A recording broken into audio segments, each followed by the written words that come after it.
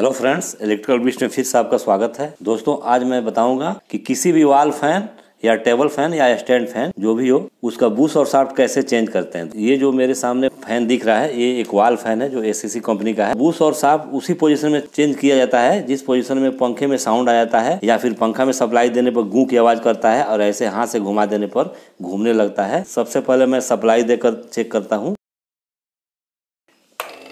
तो देखिए दोस्तों, आप देख सकते हैं कि इसमें साउंड आ रहा है।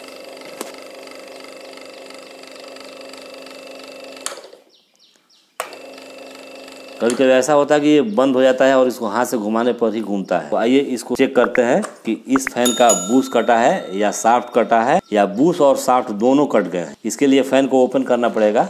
तो आइए फटाफट इसको ओपन करते हैं। तो दोस्तों, इसमें चार स्क्रू दिए गए हैं। बैक साइड में इसके यहाँ पे। चारों स्क्रू को खोलकर हम सबसे पहले रोटर को निकालेंगे बाहर। और हाँ दोस्तों, मोटर को कभी भी ओपन करने से पहले एक मार्क लगा लेना चाहिए, जो कि मैं हर एक वीडियो में बताता हूँ, मोटर हो या पंखा हो। जैसा कि मैं पहले से लगा रखा हूँ यहाँ पे मार्क लगाने से हमें लाभ मिलता है कि सेटिंग करने में कोई प्रॉब्लम नहीं आती है।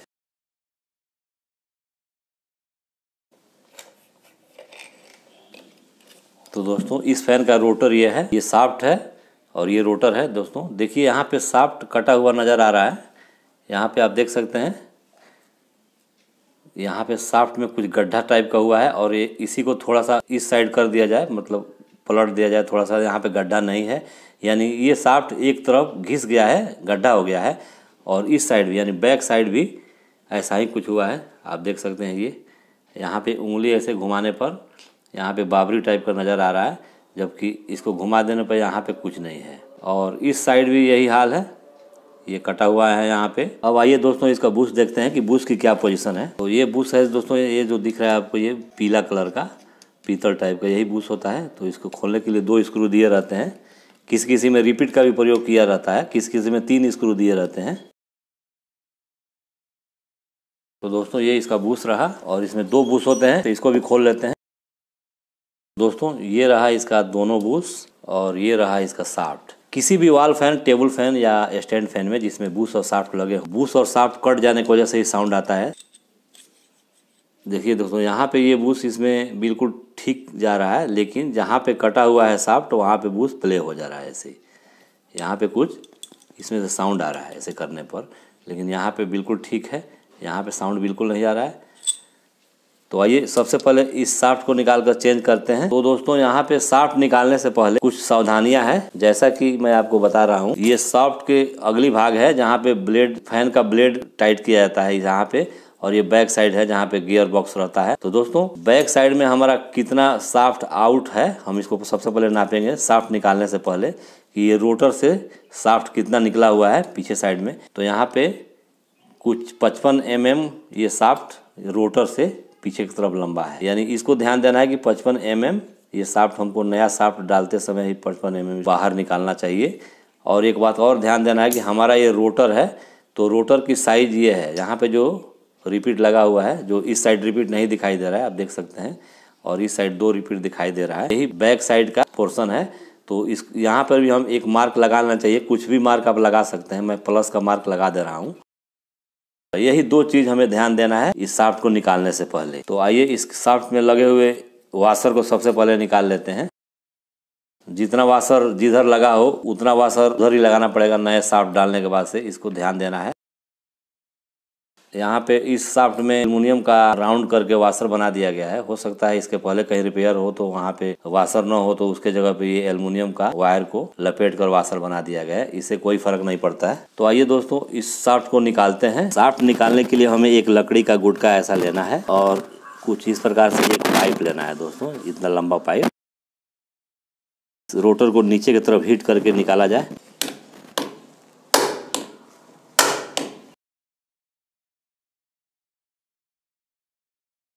हो सकता है आपको रोटर निकालने में थोड़ा सा दिक्कत का सामना करना पड़े। कोई कोई साफ्ट बिल्कुल रोटर के साथ जाम होता है तो उसके लिए हैम्बर से कई बार मारना पड़े, लेकिन ये थोड़ा कम जाम था तो इसीलिए जल्दी निकल गया। तो दोस्तों, ये हमारे पास सेम इसी मॉडल का साफ्ट है, जैसा कि आप देख सकते हैं, ये पुराना वाला साफ्ट है और ये नया वाला साफ्ट है। इसकी साइज़ सेम है।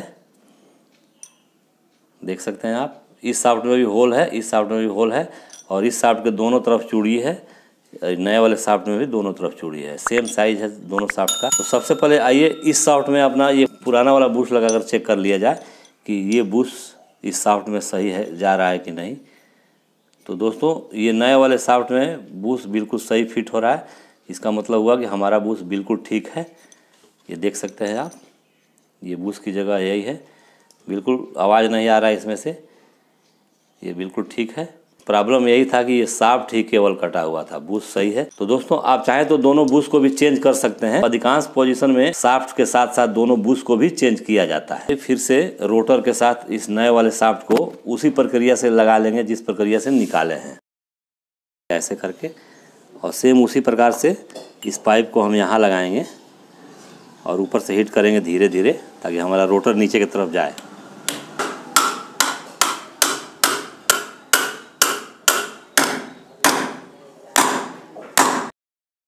दोस्तों, ये साफ्ट बिल्कुल अच्छी जगह पे फिट हो चुका है। ये देखिए, ये इसकी दूरी जो 55 एम mm था, सेम 55 एम mm है। बॉडी के साथ फिट करने से पहले दोस्तों, हम जो वाशर जहाँ से निकाले थे, उसी जगह पे फिट करना है।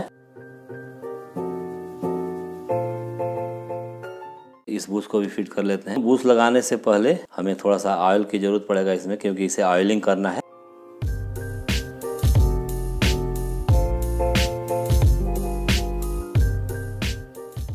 दोनों बूस अपने अपने जगह पे बिल्कुल फिट हो चुके हैं और ये साफ्ट भी अपने जगह पे बिल्कुल फिट हो चुका है। अब आइए इसे फटाफट बॉडी के साथ फिट कर देते हैं।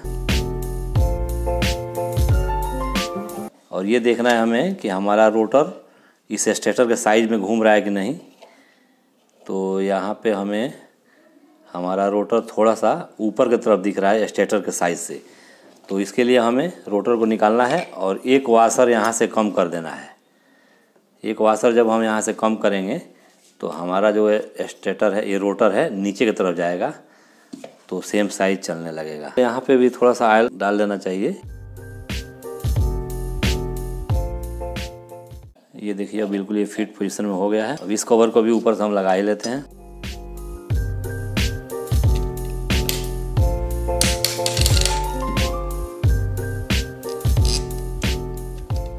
और दोस्तों, हमें इस चारों बोल्ट को बहुत अच्छी तरह से टाइट करना है। तो बोल्ट भी टाइट हो जाए और हमारा रोटर भी फ्री रहे।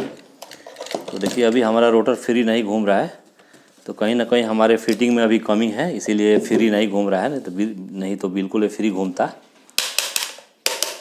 अच्छी तरह से फिट करने के लिए दोस्तों, हमें ये बैक वाली जो गियर बॉक्स है, इसको खोलना पड़ेगा।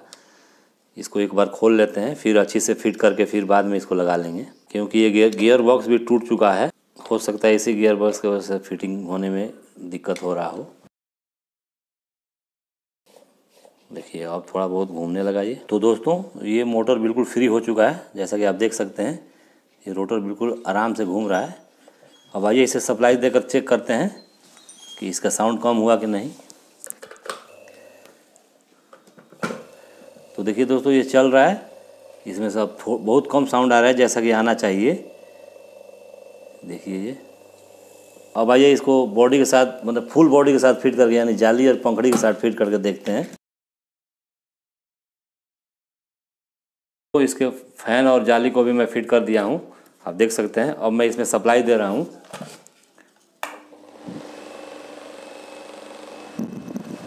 तो देखिए दोस्तों, कितना अच्छी तरह से घूम रहा है। बिल्कुल साउंड नहीं है इसमें। पहले कड़कड़ की आवाज़ करता था, लेकिन अब बिल्कुल साउंड नहीं है।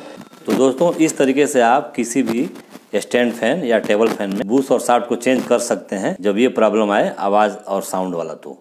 तो दोस्तों, मुझे उम्मीद है कि ये वीडियो आपको पसंद आया होगा। अगर पसंद आया है तो इसे लाइक कीजिए, अपने दोस्तों में भी शेयर कीजिए और मेरे चैनल में अगर नए हो तो इसे सब्सक्राइब करके साइड का बेल आइकन और ऑल ऑप्शन ज़रूर दबाएँ ताकि वीडियो का नोटिफिकेशन सबसे पहले आपको मिले। तो फिर मिलते हैं नेक्स्ट वीडियो में, तब तक के लिए अलविदा।